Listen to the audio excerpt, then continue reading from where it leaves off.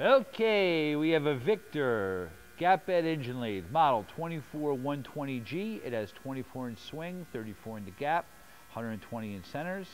Machine also has a 3 inch hole, uh, D1-8 spindle with a uh, taper turning attachment, uh, 4 jaw chuck, steady rest, uh, and we are going to run her for you.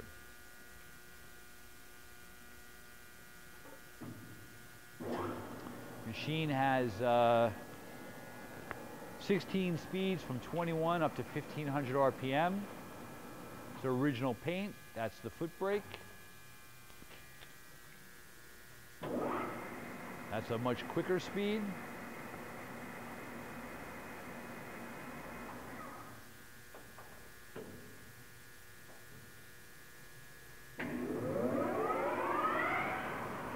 Again, that's even a faster speed. So you saw a uh, low, medium, and a high speed. I'm going to put it back into low range.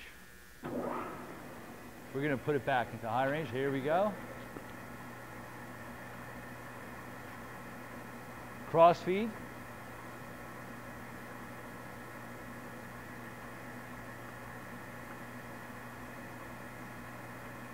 Longitudinal feed.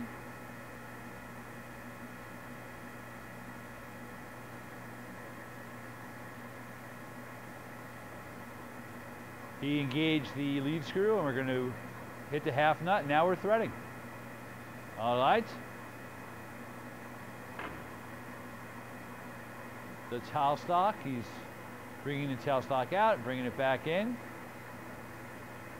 And I think that we've seen everything.